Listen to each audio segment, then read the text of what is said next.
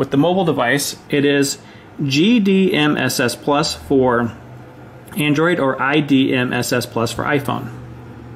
So we're going to go to Camera, drop down menu on the top left, go to Device Manager.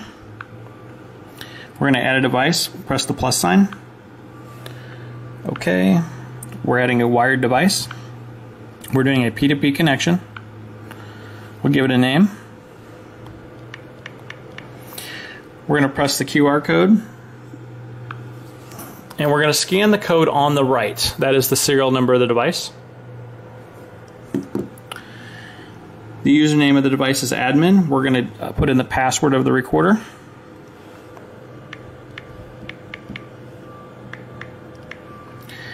We could change our streams from the substream, which shows extra here, to mainstream. And then start live preview.